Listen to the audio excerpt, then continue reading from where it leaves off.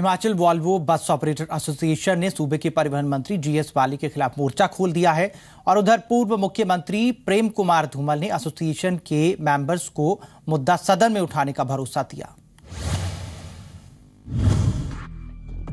हिमाचल के परिवहन मंत्री जीएस बाली एक बार फिर सुर्खियों में हैं। इस बार उनके खिलाफ सूबे की वॉल्वो बस ऑपरेटर एसोसिएशन ने मोर्चा खोला है एसोसिएशन ने मंत्री साहब पर मनमानी के आरोप लगाए हैं। उनकी शिकायत है कि सूबे में वॉल्वो बस के परमिट नहीं दिए जा रहे और जब वॉल्वो ऑपरेटर बाहर से बसें लेकर पहुँच रहे हैं तो उन्हें तंग किया जा रहा है। इस बाबत एसोसिएशन ने विपक्ष के नेता प्रेम कुमार धूमल से मुलाकात कर दखल की मांग की है। लोगों को परमिट इत्यादि दे नहीं रहे हैं। और फिर ये कि मजबूरी में जब हिमाचल के ऑपरेटर्स को कहीं और जगह से गाड़ी लानी पड़ती है तो उस सबको उन्होंने ये कहा कि इलीगल है।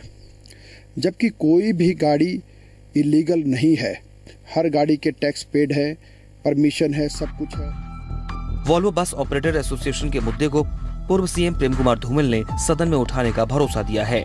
उन्होंने बताया कि इसके अलावा शीतकालीन सत्र में करप्शन और विभिन्न विधानसभा क्षेत्रों से जुड़े मसलों को उठाया जाएगा।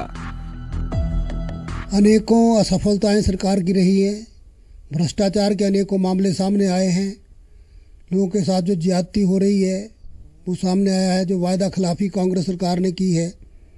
ये सारे मुद्दे हैं, इन मुद्दों को लेकर हम चर्चा करेंगे, प्रयास करेंगे सरकार को घेरने का, विधानसभा के अंदर और बाहर।